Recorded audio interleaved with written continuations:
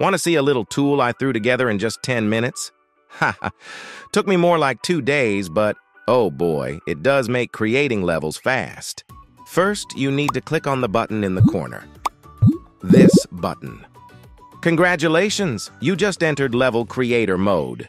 Here you can decide how many columns and rows should the grid have. You can also change their distance from each other.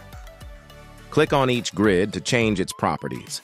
Occupied means a stack cannot be placed on top of it. You can lock the grid and set how much money is needed to unlock it. Let's just keep it at 5, cause I'm poor as Deleting means... Come on. I do not need to explain that, do I? Let's just create an easy level. Click on this aggressively flashing arrow to try out our level. Not only we can generate levels runtime, but we can even try them before saving. I won't bore you with the details. It's basically magic. After we played ourselves out, click on the right arrow to save our newly created level.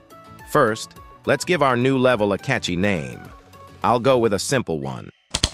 Click on Save. We can see that our prefab is generated in the Assets folder. Before adding it to the game, let's create one more level quickly. This one is spawned in a circular pattern. Pretty cool, huh?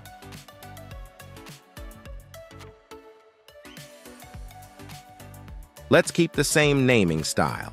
So now that we have two brand new levels, let's add them to the game. First exit play mode, then drag and drop the levels under the game mode game object. Let me rename them quickly to match the very first level's naming. We need to reset their transform. We might also need to fix their position slightly so that they are visible and placed correctly. The only thing we need to do now is decide how many pieces need to be collected on each level to win and proceed to the next level. We can do this by selecting our one-sort hexagons game object, then changing the values of the collected stacks counter script in the inspector. Other things, such as updating the level counter text on the ground and sorting the levels, are done automatically. The only important thing here is the order of the levels in the inspector. Congratulations! Your new levels are ready, you just need to play them.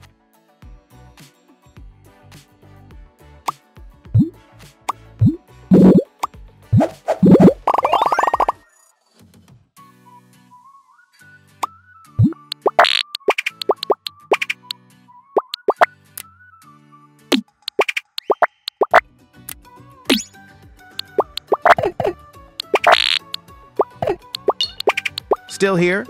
Don't you have any games to develop? Consider leaving some stars for the package for a fellow developer, will ya?